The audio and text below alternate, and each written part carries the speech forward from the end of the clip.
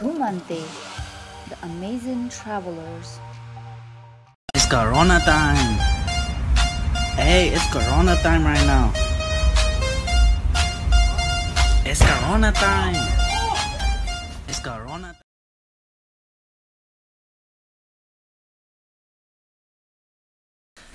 नमस्ते घुमन्तेको तर्फबाट तपाईँहरू सबैलाई अ, अलिकति आउट अफ ट्र्याक हाम्रो यो भिडियो किनभने संसारभरि चाहिँ अहिले कोरोना भाइरस कोभिड नाइन्टिनको त्रास जताततै छ अनि अवेरनेसको कार्यक्रमहरू प्रिभेन्सनको कार्यक्रमहरू सबैतिर भइरहेछ एन्ड आई वी फेल्ट हामीले पनि हाम्रो तर्फबाट केही जानकारी आफूले जानेको बुझेको इन्फर्मेसन र के गर्न सकिन्छ जतिसम्म बुझिया छ त्यो चाहिँ सेयर गरौँ भनेर यो सानो भिडियो तपाईँहरूलाई। अब कोरोना भाइरसको बारे तपाईँहरू सबैलाई थाहै होला वाट इट इज भनेर। चाइनाको वुहा वुहानबाट डिसेम्बर थर्टी फर्स्टको दिन चाहिँ फर्स्ट यसको रिपोर्ट भएको थियो अनि त्यहाँबाट हामी सबैले सोचेको एक्सपेक्ट गरेको भन्दा एकदमै चाँडो यो फैलियो र अहिले चाहिँ संसारको अलमोस्ट एक सय साठी अथवा अझै धेरै पनि हुनसक्छ त्यति देशमा फैलिसक्यो। सुरुवाती स्टेजमै नेपालमा पनि एउटा केस देखिएको थियो तर अहिले चाहिँ त्यो रिजल्भ भयो भन्ने छ। अहिलेको कोरोनाको स्टाटस हेर्दाखेरि चाहिँ आजको मितिसम्म दुई लाख छ्यालिस हजार सात सय त्रिहत्तरजना चाहिँ इन्फेक्टेड हुनुभएको छ होइन? वर्ल्डभरि। त्यसमा डेथ हुनेहरूको सङ्ख्या चाहिँ दस हजार बैसठी छ र त्यसमा पनि रिकभर्ड हुनेहरूको सङ्ख्या चाहिँ अठासी हजार चार सय अठासी। अब कोरोना भाइरस चिनमा स्टार्ट भए पनि अब हिजो अस्तिको लेटेस्ट न्युज अनुसार चाहिँ इटालीले चाइनाको टोटल डेथ तोल अथवा मृत्यु हुनेको सङ्ख्या चाहिँ जहाँबाट सुरु भएको त्यो देशभन्दा बढी इटालीमा भइसक्यो डेथ तिन हजार समथिङ क्रस गरेर। अहिले चाहिँ एकदमै विकराल अवस्था छ इटालीमा अनि इटालीमा जुन घटना भयो त्यसले गर्दा चाहिँ सारा संसार झसेको छ। सो केसमा त्यही केसमा हामी पनि एकदमै अवेर हुने बेला आइसकेको छ।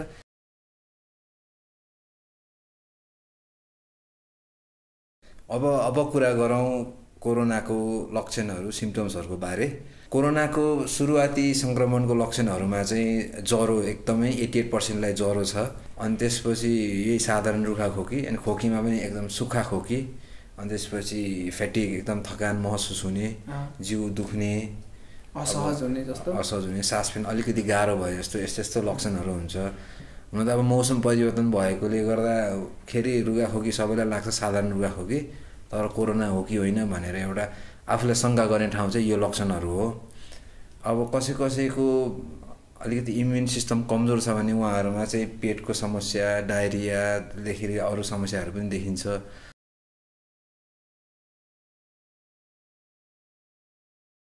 यसको सुरुवात चाहिँ चमेरो र सालक जुन चाहिँ चाइनामा खाइन्छ त्यसबाट मान्छेमा सरेको भन्ने विश्वास छ र एउटा मान्छेमा सरेपछि त्यो चाहिँ मान्छेदेखि अर्को मान्छेमा स्प्रेड भएको। सो कोरोना भाइरस व्यक्तिबाट व्यक्तिमा सर्ने हो। कोरोना सङ्क्रमित व्यक्तिको हात अ, खोकी खकारको सम्पर्कमा आयो भने यो रोग सर्छ। अनि यो किन पनि खतरनाक छ भने को कोरोना भाइरसको ड्रपलेट्सहरू भाइरसको कणहरू चाहिँ काठमा अथवा अन्य फलाममा। अन्य रेलिङहरूमा धेरै बेर बाँचेर बस्न सक्छ। र यदि हामीले त्यो चिज छोयौँ र त्यो चिजलाई लगेर हाम्रो हात मुखतिर लग्यो भने त्यो त्यसरी पनि हामीमा सर्न सक्छ।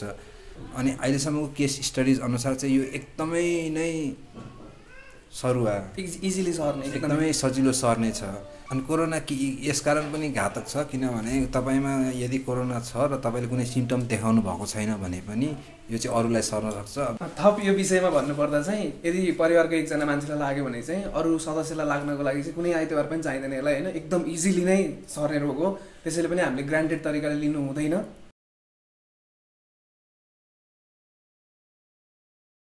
कुरा गरौँ नेपालको वर्तमान परिप्रेक्ष्यमा। हुन त अब नेपाल पनि अहिलेसम्म अब सुरुमा एउटा देखियो त्यसपछि अहिले कोरोना भाइरस नभएको देशहरूमा पर्छ। पर्छ। तर तर अब विभिन्न रिपोर्टहरू अब ब्याकग्राउन्डको कुराहरू अनुसार हामीसँग त साधनै नभएको उपकरणै नभएको भन्ने कुरा पनि आयो। एउटा डर के छ भने हामीसँग टेस्ट नै नभएर अथवा हाम्रो टेस्टहरू जसलाई जसलाई सङ्क्रमण भएको छ उहाँहरूको टेस्ट नभएर हो कि भन्ने पनि छ तर अब भगवान्को लीला. भनौँ होइन अथवा हामी पोजिटिभ रहौँ नेपालमा चाहिँ कोरोना भाइरस छैन। तर यदि नेपालमा कोरोना भाइरस आइहाल्यो भने चाहिँ एकदमै डरलाग्दो कन्डिसन हुने अब त्यो एकदमै डरलाग्दो हुन्छ क्या सिचुएसन किनभने इटाली जस्तो विकसित देशमा त त्यत्रो ठुलो आपत निम्ति आयो भने हाम्रो जस्तो स्वास्थ्य हेल्थ केयरमा एकदमै कमजोर देश आइसियुको लागि बेड हुँदैन त्यस्तो देशमा कोरोना भाइरस फैलियो भने त हाहाकारै मचिन्छ।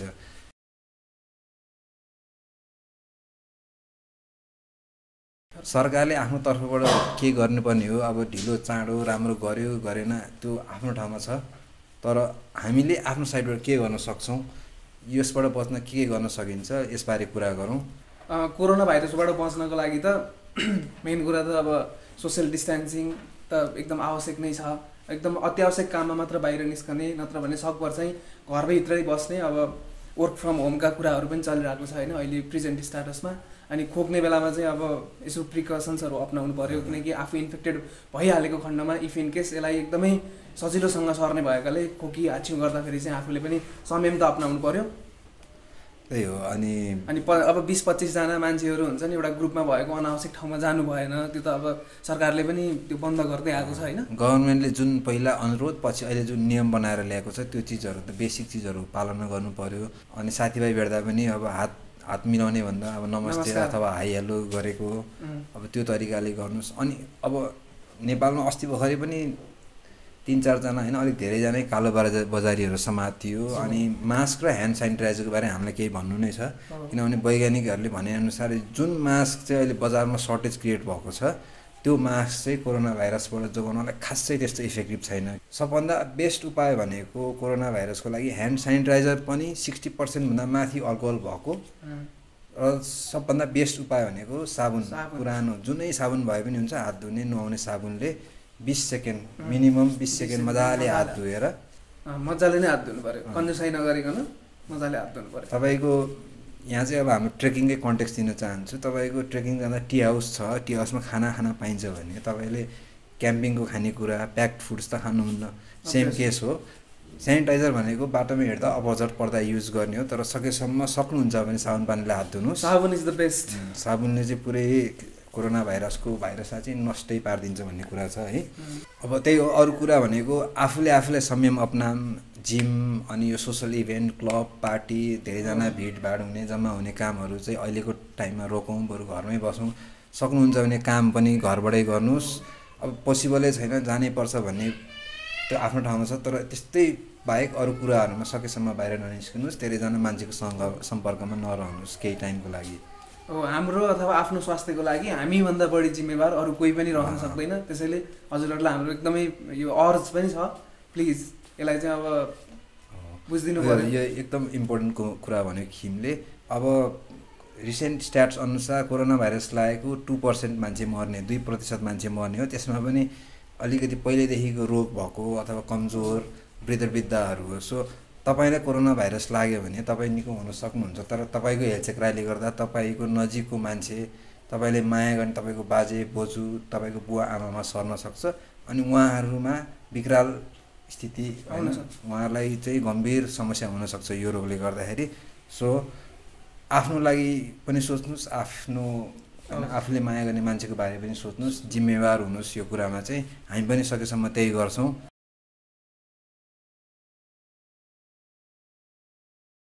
अब हामी चाहिँ अब फेरि अझै ट्राभल रिलेटेड अलिकति घुम्न पर्छ भनेर इन्करेज गर्ने आफू पनि घुम्न रुचाउने मान्छेहरू भएकोले ट्राभलमा चाहिँ यसले कसरी असर गर्छ भन्नेमा पनि हामी केही बोलौँ होइन केही भनौँ अब के छ यो खिम जस्तै अब बाहिरबाट आउने हुन्छ नि अब बाहिर विमान चढेर आउने यात्रुहरू हुन्छ नि उहाँहरू पनि सङ्क्रमित हुन सक्नुहुन्छ।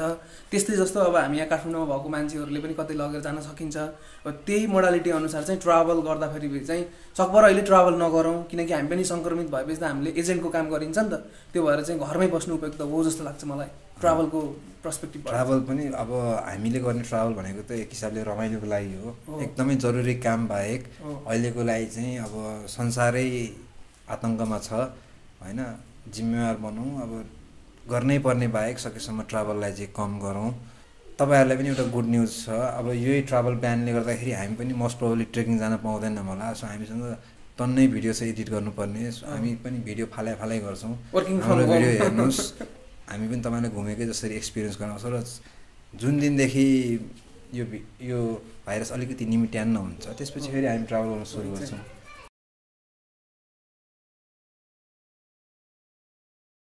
ए जाँदा जाँदै हाम्रो एउटा एकदम अन्तर्हृदयदेखि एउटा रिक्वेस्ट पनि के छ भने यो अहिलेको क्राइसिसलाई चाहिँ अब अवसर अवसरवादी भएर चाहिँ हजुरहरूले कालो बजाएर चाहिँ प्लिज नगरिदिनु होला।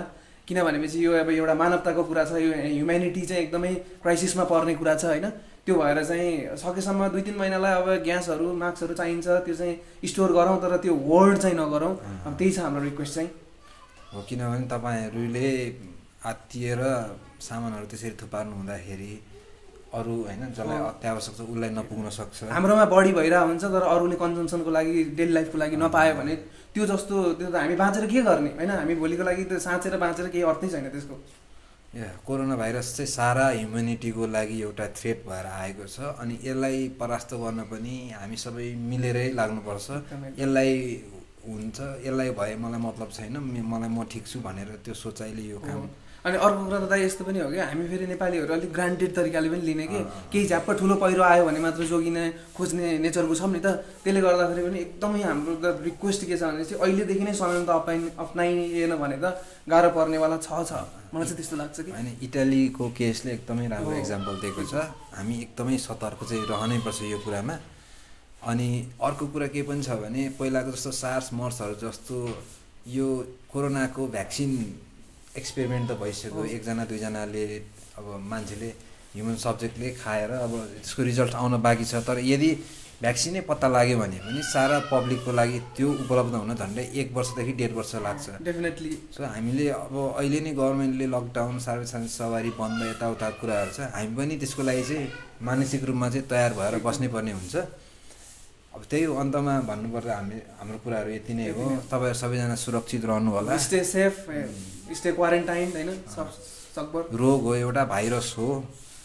हामी सबै मिल्यौँ भने यसलाई हामी भन्नाले नेपाली मात्रै होइन घुमन्ते हेर्ने साथीभाइ मात्रै होइन सारा संसारको मान्छे एभ्री। प्राणी एभ्री प्राणी। एकजुट भयो भने यसलाई पक्कै नै परास्त गर्न सक्छौँ। अब त्यतिन्जेललाई चाहिँ अहिलेको लागि हामीले पहिला भने जस्तो please do not travel at this time बरु बस्नुहोस् घरमा। घुमन्तेको भिडियोहरू छ लामो लामो हुन्छ। ज जसले भन्नुहुन्थ्यो उहाँहरूलाई अझ टाइम भयो अब मजाले रिल्याक्स गरेर हेर्नुहोस्। हामी अझै धेरै भिडियोहरू ल्याउँछौँ अब होइन? अब त टाइम भयो नि त मजाले भिडियो एडिट गर्न पाइन्छ। हामीसँग धेरै ठाउँको पोहोर साल गएको धेरै ठाउँको भिडियो अझै बनेको छैन। So see you guys stay safe अनि अब हामीले यहाँ अहिले बोलेको भनेको कुराहरू पर्याप्त त नहोला अथवा केही गल्ती भयो होला। यो भिडियोको कमेन्टमा लेट्स डिस्कस अबाउट द्याट सल्लाह गरौँ तपाईँहरूमध्ये कसैलाई धेरै नलेज होला तपाईँले आफ्नो नलेज. सेयर गर्न सक्नुहुन्छ। भिडियो अथवा युजफुल आर्टिकलहरू हिजो आज भोलि चाहिँ यो अब जति कोरोनाले विकराल रूप लिँदैछ त्योभन्दा विकराल रूप चाहिँ हाम्रो नेपालमा पनि अनि विदेशतिर पनि चाहिँ यो सोसियल मिडिया सामाजिक सञ्जालमा एकदम फेक न्युजहरू डिस्ट्रिब्युट भइरहेछ। त्यो जस्तो अब त्यो अडियो क्लिप आइरहेको थियो एउटा हिमाल हिमालवाला। अनि त्यो हस्पिटलको स्क्रिनसट अनि एकजना विदेशी छ त्यो उसले पनि अलिकति अवेर त गराउनु खोजेको तर नेपालको बारे धेरै यो कोरोनाको केसमा चाहिँ एकदमै रङ हल्लाहरू फैलाइरहेछ। सो एकदमै रिलायबल सोर्स डब्लुएचओ नेपाल सरकार र अनि हाम्रो अनलाइन पोर्टलहरू न्युज पेपरहरू पनि भरपर्दो स्रोतबाट मात्रै चाहिँ न्युज लिनु होला जुन पाए त्यसले पठाएर प्यानिक होइन आत्तिने गर्ने चाहिँ नगर्नु होला गभर्मेन्टले जुन सुरु गरेको लकडाउन छ त्यो पनि खास नफ नफैलियोस् भनेर हो। नेपालको केसमा त अझ कोरोना देखिएकै छैन त्यही भएर त्यो कोरोनै आए जसरी भाग्नुपर्ने अवस्था पनि छैन। अब अहिलेको केसमा त झन् जिल्ला बाहिर जान्छु भनेर बस पार्क बसमा यत्तिकै भिड झन्। भिड छ झन् जोखिमपूर्ण भयो त्यो चाहिँ। संयमता अपनाम सुरक्षित रहौँ होइन। आफ्नो तर्फबाट जिम्मेवार नागरिकको भूमिका निर्वाह गरौँ। कोरोनाबाट बस्न हामीले के गर्न सक्छौँ? के गर्नुपर्छ अनि नेपालको कन्टेक्समा चाहिँ कस्तो छ अनि ट्राभलिङको कन्टेक्समा कस्तो छ त्यसबारे हाम्रो आफ्नो विचार तपाईँहरूले हेरिदिनु भयो तपाईँहरूलाई सुनाउँ भन्ने हो अनि तपाईँहरूले सक्नुहुन्छ तपाईँहरूलाई यो भिडियो हेल्पफुल लाग्यो भने आफ्नो चिने जानेको साथीभाइ आफन्त सबैतिर पनि सेयर गरिदिनु होला। यति भन्दै फेरि पनि नमस्कार।